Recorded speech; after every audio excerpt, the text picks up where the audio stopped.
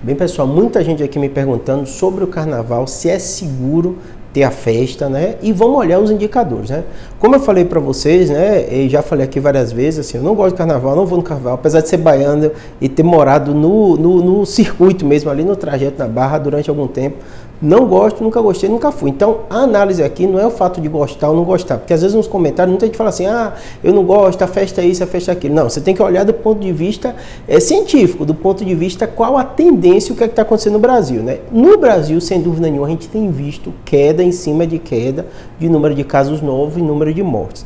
É um dos períodos mais seguros. Pra vocês terem ideia, alguns dias atrás eu falei aqui para vocês que foi uma das primeiras vezes que a gente ficou sem ter nenhuma morte num dia, desde que iniciou a pandemia em 2020. Ou seja, os indicadores são muito positivos. Isso é uma verdade, né? Os eventos grandes, né? Estádio de futebol, festa, show já estão acontecendo. Então, do ponto de vista estatístico, os números que a gente tem hoje, do ponto de vista da epidemiologia, não existe nenhum critério que vai dizer que é proibido ter o carnaval porque vai ter algo crítico, né? Mas sem dúvida nenhuma, toda festa que tem circulação de pessoas, a gente ainda está vivendo em pandemia, ainda está tendo casos, vai aumentar o número de casos. Ninguém tem dúvida nisso. Então o que, é que vai acontecer, né? É uma decisão dos comitês científicos. Pergunte se eu, Júlio, acho que existe algum indicador objetivo para proibir alguma festa. Não, acredito que não. Pelo contrário, os indicadores estão cada vez melhores, né? Retirou o uso de máscara em ambiente fechado, em ambiente aberto, né? Só está no transporte público, no, na aviação também. Então, assim, não, não existe nenhum outro critério de morte, de aumento de número de casos. Não teve nenhuma subvariante nova. Então, acredito sim que é seguro, né? Lembrando para vocês, como eu falei, né? Tudo isso é muito dinâmico. Os comitês científicos estão analisando isso, né?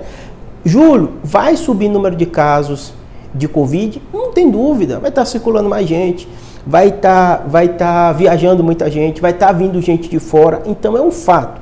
Então isso que às vezes fica confuso para vocês, porque uma coisa é entender que não há nenhuma proibição objetiva do evento e a outra é entender que vai aumentar o número de casos. Esse aumento de número de casos nem sempre implica que a gente vai proibir todo tipo de evento.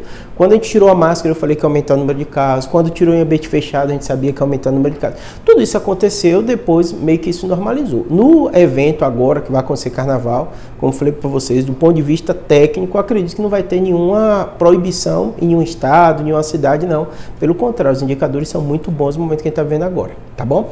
Espero que tenha ajudado. Qualquer dúvida, deixa aí no comentário. Eu sei que toda vez que eu falo desses temas de festa, mundo é muito polêmico, porque muita gente não gosta de carnaval, não vai para carnaval como eu, e aí acha na questão, ah, então devia proibir porque vai aumentar a Covid. Não, é, tem gente que gosta, tem gente que não gosta. Os comitês científicos vão olhar sempre do ponto de vista técnico, tá bom?